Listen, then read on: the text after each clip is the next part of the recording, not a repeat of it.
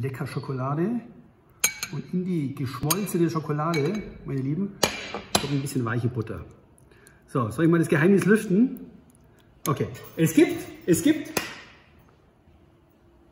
einen halbflüssigen Schokoladenkuchen. Und das ist überhaupt nicht schwer. Ja? Dunkle Kuvertüre, ja, ist richtig schön. Richtig dunkle, knackige, gute Kuvertüre mit mindestens 70% Kakaoanteil und Butter schmelzen. So geht's los. Dann Zucker. Ja? Ich habe so, ja, so für das Rezept um die 50 Gramm Zucker.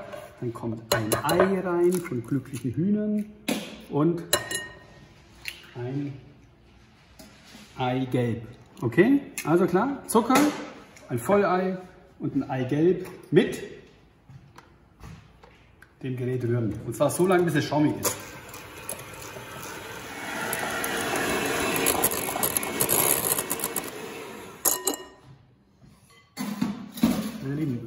Lange müsst ihr das schlagen, bis, bis es so richtig schön dicklich ist. Ja? Okay, Zucker, Ei und Eigelb. Und dann jetzt mal nochmal hier zurück zu meiner Schokolade.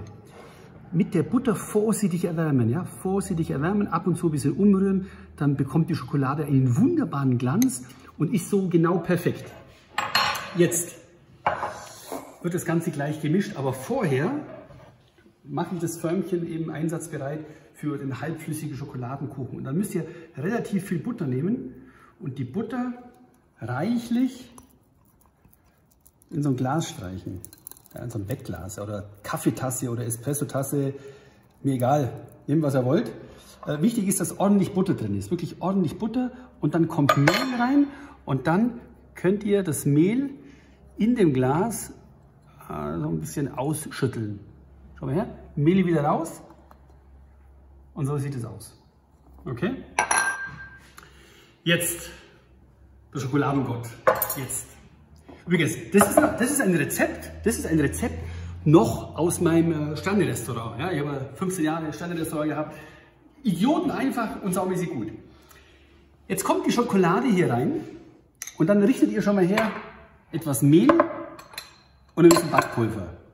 Okay, also Schokolade rein, etwas Backpulver und auf die Menge ein Esslöffel Mehl. Nicht so viel Mehl, dass unser Schokoladenteig eben später auch verläuft. Und jetzt vorsichtig unterheben. Ja. Nicht so fest rühren, vorsichtig unterheben. Und schwuppdiwupp, fertig ist die Schokoladenmasse. Und jetzt kommt die Schokoladenmasse hier rein. Okay, seid bereit?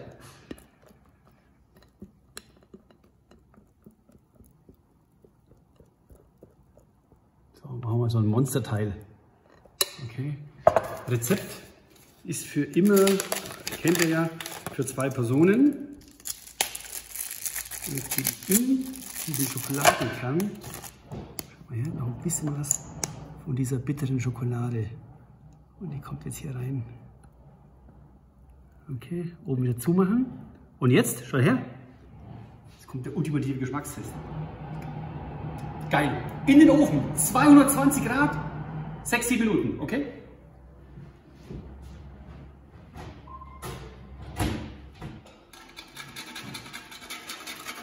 So, meine Lieben, jetzt gibt es noch ein kleines Highlight. Und das Highlight heißt äh, Tonkabohne. Ja? Schau, da sind die drin. Kommt aus dem Amazonas und sucht seinesgleichen. Sehr, sehr genial. Ja? Riecht so ein bisschen nach Vanille, Marzipan, Blaumantel. Und das habe ich zu geschlagener Sahne, ja, so leicht geschlagene Sahne. Dann kommt ein bisschen Mohn dazu.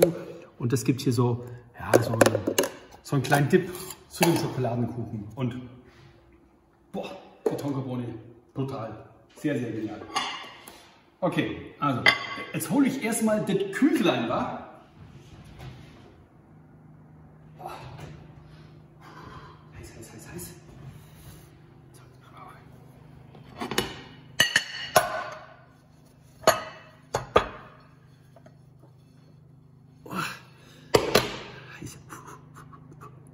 Mehl von vorhin.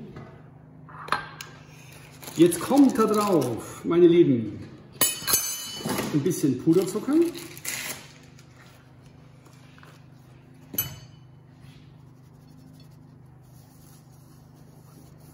So. Und dann kommt dieses kleine Monsterküchlein hier drauf. Dann ein paar Himbeeren dazu. Und jetzt äh, wollen wir mal schauen, ob der auch wirklich halbflüssig ist. Ja, ja, ja, ja, ja. Boah, das ist genial. Wisst ihr, was, was man dazu isst? Nichts. Ein Glas Champagner vielleicht, wenn es mal ganz aufhausig sein muss. Also, Henses Blitzrezepte, Schokoladenkuchen, der ist für zwei Personen. Alright? Also, guten Appetit.